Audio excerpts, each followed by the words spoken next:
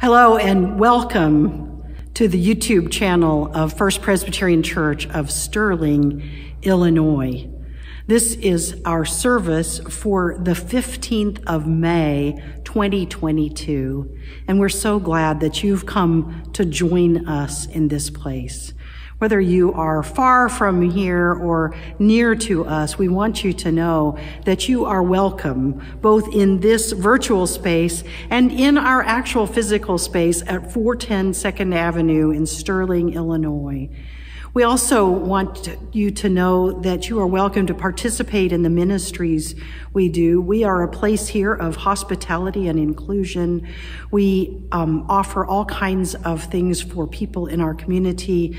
This building is a place where many people come for various services. We have an LGBTQ drop-in center that's hosted here by Youth Outlook. We have an NA group. We have an AA group. We have Boy Scouts. We have Cub Scouts. We have a group of moms and we have many other ministries that come from our church that may not be only our church.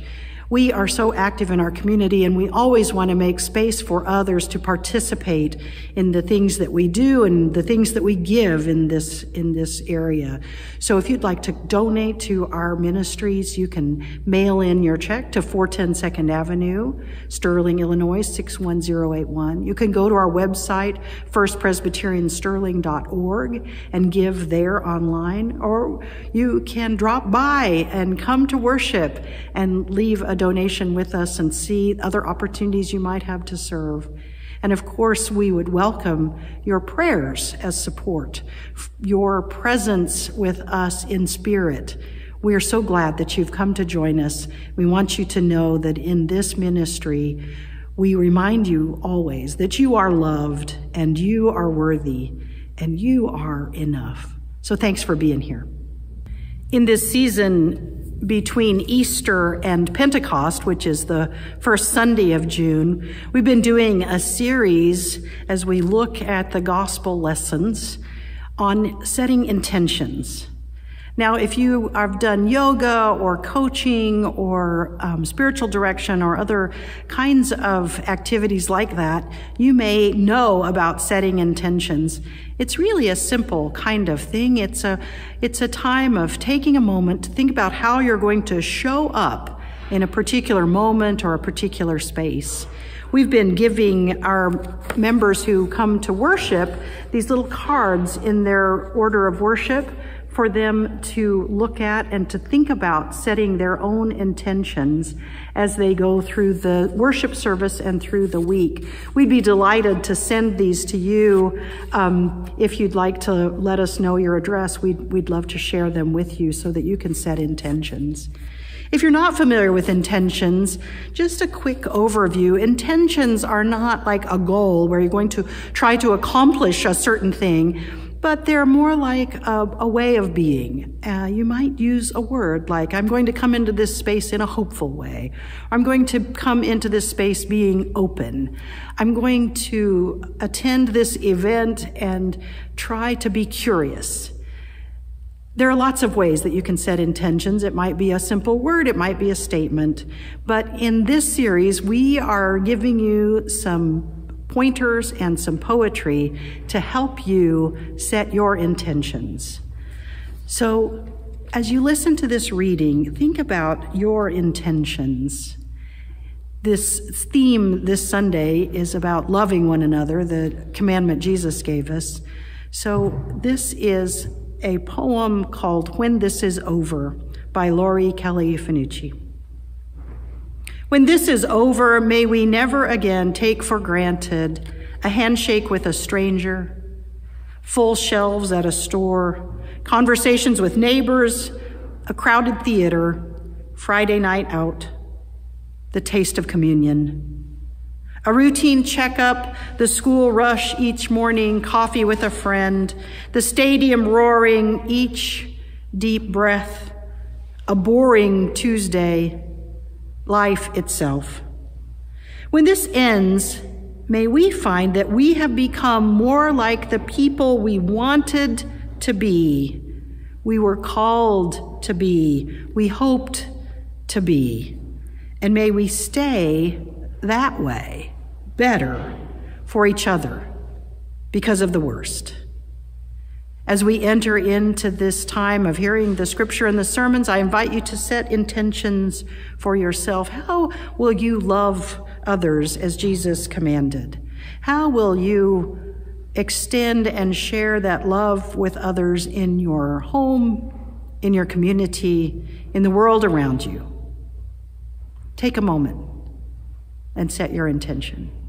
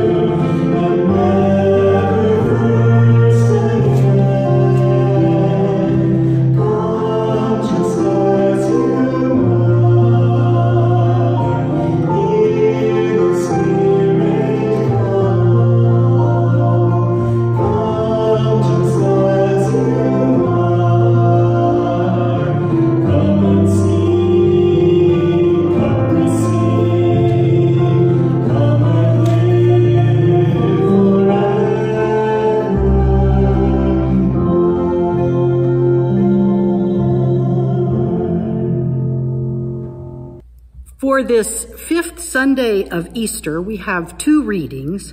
One comes from the book of the Acts of the Apostles, and the other comes from the Gospel according, according to John.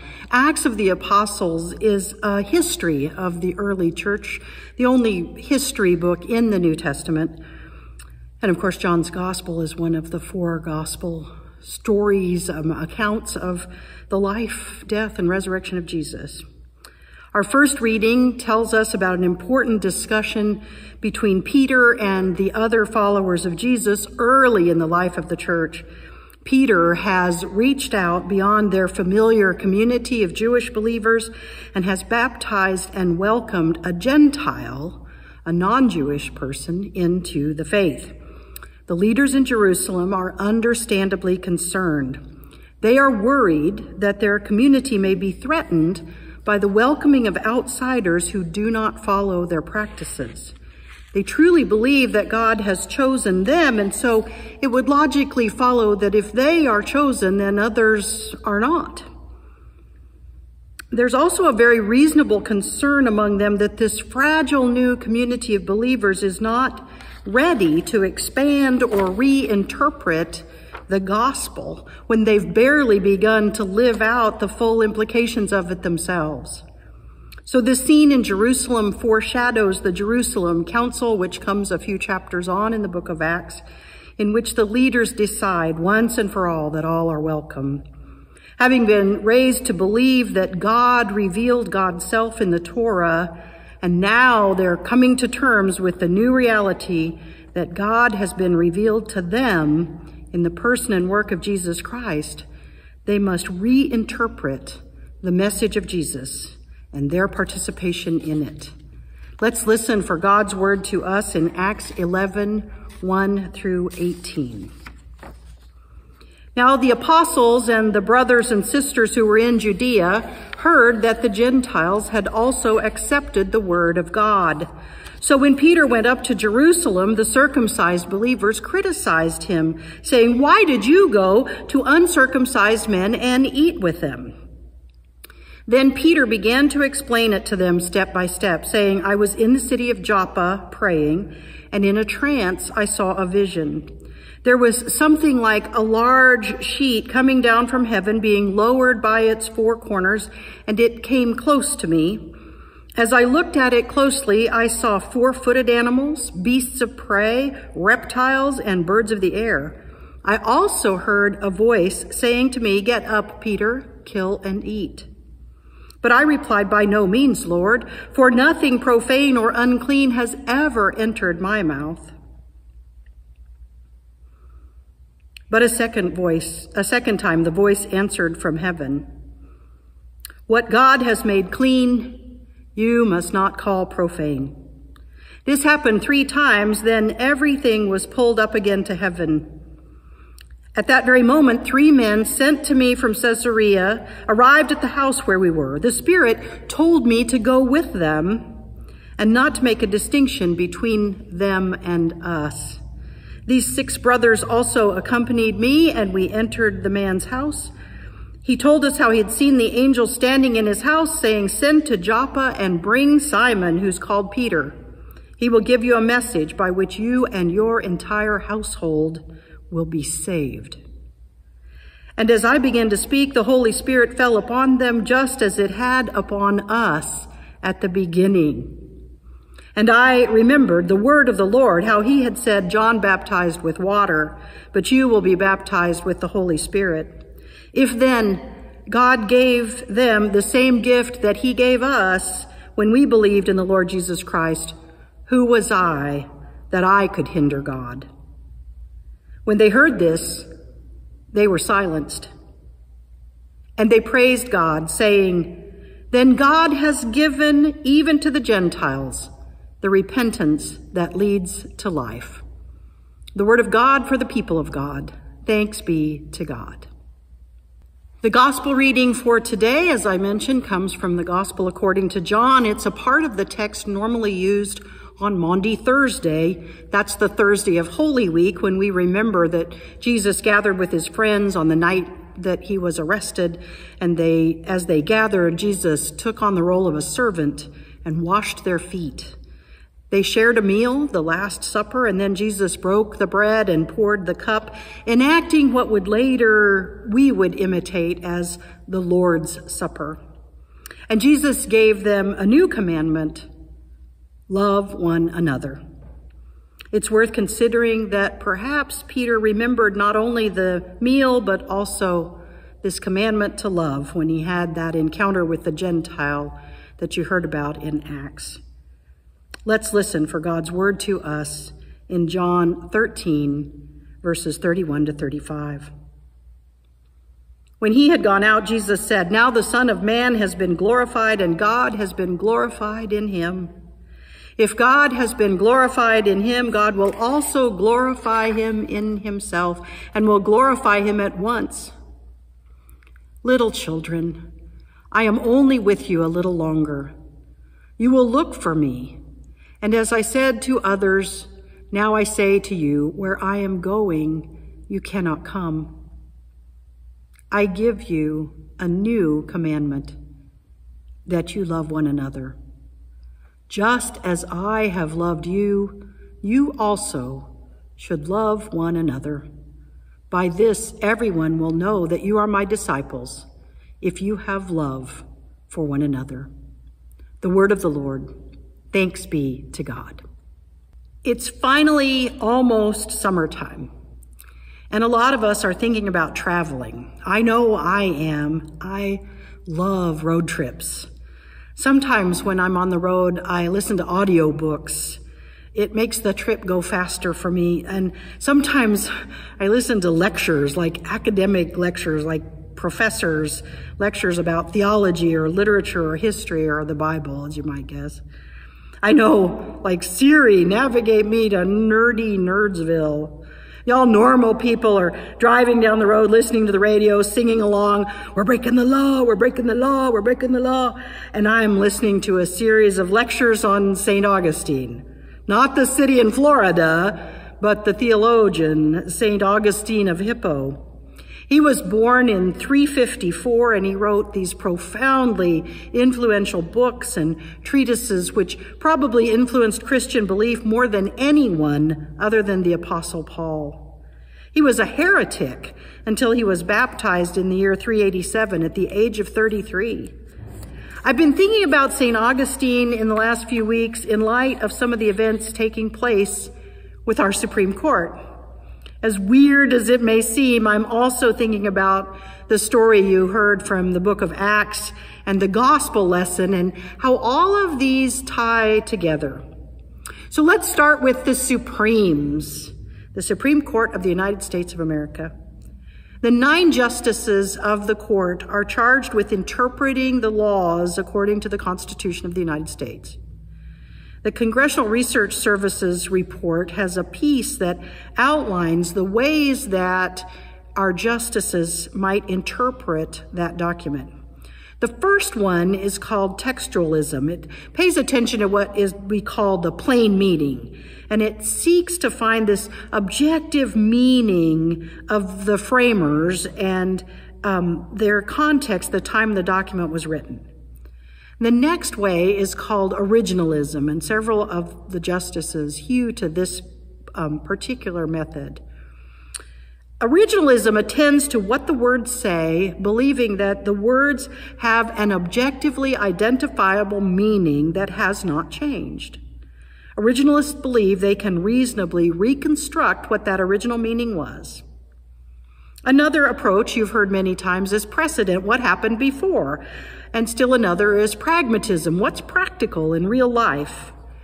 There's a approach called moral reasoning that relies on the belief that there are moral ideas that form the foundation of our Constitution. And those moral principles or ideals like due process or equal protection under the law should inform our interpretation of the document. And occasionally the justices will rely on ideas of national identity, the character of the nation, to construe meaning. The last two are structuralism and history. Structuralism looks at the parts of how the structure worked together, like the three branches of government. There's, you remember this from eighth grade civics, legislative, executive, and judicial, and how do those work together? And then what's the interrelationship between federal and state governments? The historical approach, kind of obvious, um, looks at what's been done in the past and how the Constitution's meaning has been understood in our nation's history.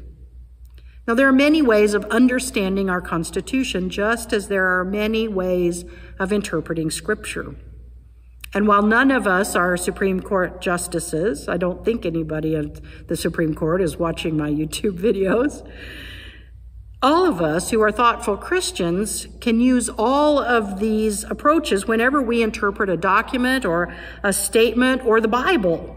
All of us use these various lenses when we're looking at making decisions or taking a position on a particular issue or social question.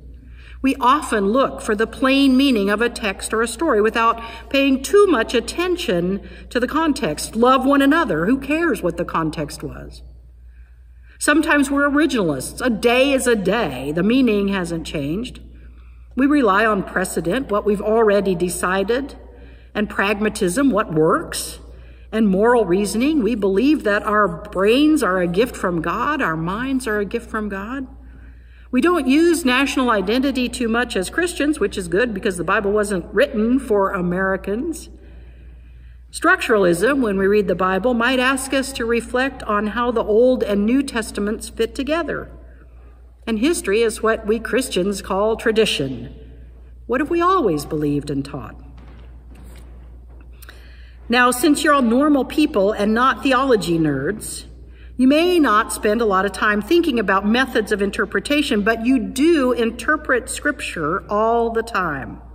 And because you're not too nerdy, like me, you may not know that St. Augustine advocated a non-literal interpretation of scriptures. And in fact, he said outright the creation story in Genesis is metaphorical. In his writing about science and scripture back in the beginning of the fifth century, he said, it is too disgraceful and ruinous, though, and greatly to be avoided that he, the non-Christian, should hear a Christian speaking so idiotically on these matters. St. Augustine, church patriarch, a saint, the bishop of Hippo, did not take the Bible literally. In fact, he had one single rule for the interpretation of Scripture, an unbendable law in which he held above all others the law of love. Augustine said that the best interpretation of the Bible is whatever encourages love of God and love of other people. That's it. That's his rule of exegesis, of understanding Scripture. In fact, Augustine said, even if your interpretation is not what was intended by the original author, even if it's wrong, it follows the law of love, it's a good interpretation. Think about that for a minute. Even if it's inaccurate, the best interpretation is the one that follows the law of love. If you follow the law of love, you're right, even if you're wrong. The story you heard in Acts demonstrated this more than 300 years before St. Augustine came along. Peter came to Jerusalem to explain himself to the other leaders of a new church, this band of Jews who had just lately begun to be called Christians. They want to know what in the world he's up to, allowing Gentiles to be baptized and receive the Holy Spirit? Peter replies with this account of this strange vision, this big white cloth like a tablecloth coming down from heaven and spread out on the cloth were all sorts of foods, both clean and unclean. And Peter heard this voice telling him, eat. Now, Peter was a good Jewish guy. He knew that God said there are certain things you just don't eat. But the voice says what God has said made clean, you must not call profane. And then something happened that made Peter sure that this vision was not about food at all, but something more crucial. Because the next thing that happened was three men came to summon him to a house in Caesarea, and there the householders told of a vision of their own. You can read the detailed account in chapter 10 of the book of Acts. It's in the New Testament. And by the way, if you don't have a Bible and you'd like one, shoot us an email and we'll send you one. You can read about this whole story in the 10th chapter of the book of Acts. In this chapter, Peter has reduced the story to its most salient points. And at the end of the council gathering, the leadership agreed. The Gentiles of Antioch can be fellow believers and they can be baptized. Now, this may sound crazy to your 21st century ears, but this story has enormous consequences, consequences that Augustine foresaw, at least in part. This story demonstrates the great commandment in action. Augustine's law of love, Jesus' words in the gospel made real and embodied, love one another. Augustine's test of interpretation is met. Does it encourage love of God and love of others? Yes. Yes, it does. All this is to point to an interpretation of Scripture and maybe to an interpretation of our laws and our Constitution that for Christians might involve many approaches, but ultimately ought to end with Augustine's test. You know, I can show you scriptures that say I shouldn't be standing here preaching because I'm a woman. In our own history, there were serious, faithful American Christians who put forward biblical arguments in favor of slavery. When the PCUSA General Assembly convened in Minneapolis in 2010, they had serious discussions about interpretation as it pertained to the ordination of LGBTQ ministers, elders, and deacons. Presbyterians practice freedom of conscience. So commissioners to our General Assembly and to our Synod and Presbytery and the elders on our session vote their conscience as they believe Christ leads them. They seek to listen to that still small voice of the Holy Spirit that guides us to reflect the mind of Christ, the Lord of love. When that big white tablecloth came down from heaven in Peter's vision, the intention was not to change his appetite, but to change his attitude. The question was not what was on the table, but who was welcome at the table. Friends, understanding Scripture is simpler than we might think if we follow the Great Commandment. Interpreting Scripture becomes far less complicated when we follow Augustine's law of love. So maybe it's still a good way for us to interpret, I don't know, everything. Maybe this is the best test of any choice we make. Does it encourage love of God and love of others? Then it is so much easier to know how to obey Jesus' great commandment to love one another. Amen.